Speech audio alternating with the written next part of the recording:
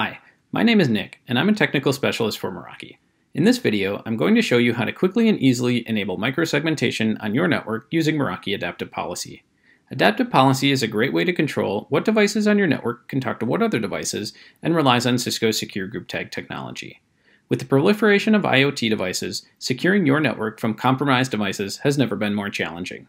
Remember that $50 IP camera your plant supervisor just installed out on the manufacturing floor? How many security engineers do you think work for the company that made it?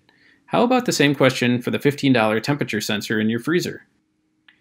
At my company, I have two SSIDs, one for IoT devices and one for corporate devices. You'll see that as devices attached to the IoT SSID, we'll automatically apply an adaptive policy group of 11 for IoT devices.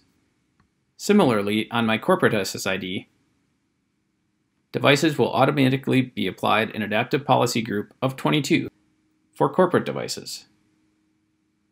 These groups could also be dynamically applied using Cisco ISE. Let's assume my computer is an IoT device. It's currently connected to the IoT SSID. You'll notice I can communicate to all other devices on the network, even corporate devices, as shown here using a basic ping test. This leaves the door wide open for hackers.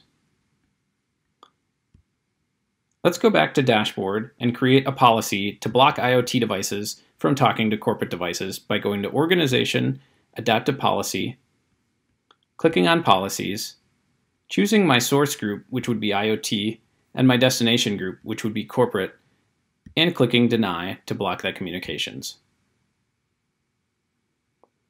Let's go back to the ping test and try again. You'll notice that communication is now blocked, and I didn't need to look up IP addresses or ports for this, I simply needed to specify intent of my security policy. Thanks for watching.